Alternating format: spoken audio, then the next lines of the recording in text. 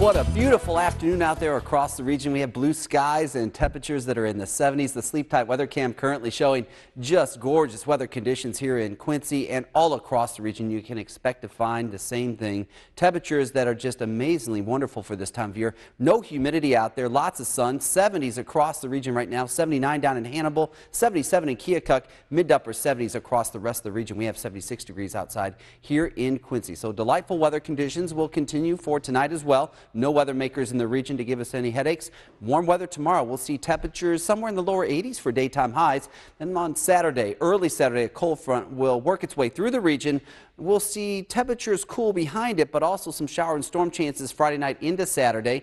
As that front moves off to the east, behind it, we'll see a pattern shift. Uh, looks like over the next few days after that, we'll have a nice day on Sunday with some sunshine, But then as we go into next week, we'll have some wet weather and we'll also have much cooler temperatures with highs only in the 60s. And as a matter of fact, by mid next week, maybe the upper 50s for afternoon highs. Sunshine, 76 degrees right now here in Quincy at the airport. The winds are out the south-southeast near 10 miles an hour. The pressure is currently falling, and we do expect to see a beautiful evening across the region. Temperatures today in the 70s area wide. We had a high of 77 officially at the airport here in Quincy this afternoon. 67 would be average, so 10 degrees above average. Our morning low came in 5 above average at 51 degrees. Across the region, this big blue H out over Indiana is uh, sponsoring the quiet weather. We have high pressure at the surface, getting some winds out of the south, southeast coming into Missouri, Iowa, and Illinois. Not too much going on. This big H is acting like a sort of force field, if you will, keeping any weather makers away from our region. We do have the warm temperatures on the west side of that high. You can see readings around 80 in Wichita,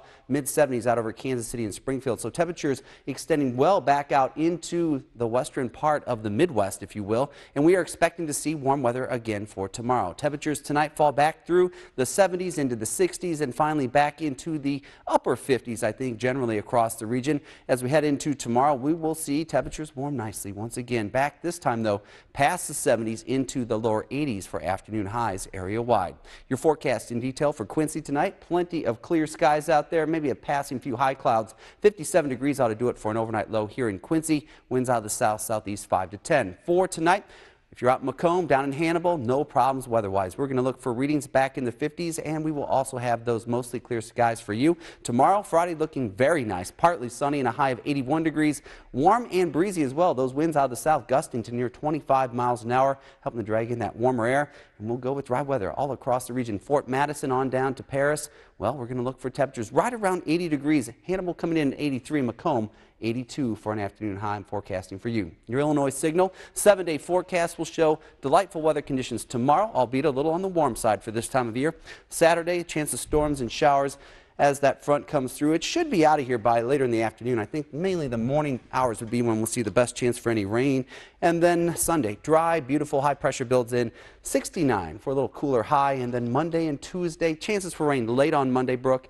Tuesday and Wednesday, we see better chances. And look at those high temperatures on Wednesday in the mm. upper 50s. So, so the week that you're going to be taking off is going to be all raining. That's say something. that's right. Hey, you know, sometimes when I'm off, it's great weather. This time it looks like it's gonna be a little cool and damp. Yeah, Mother Nature's not happy with that. Neither am I.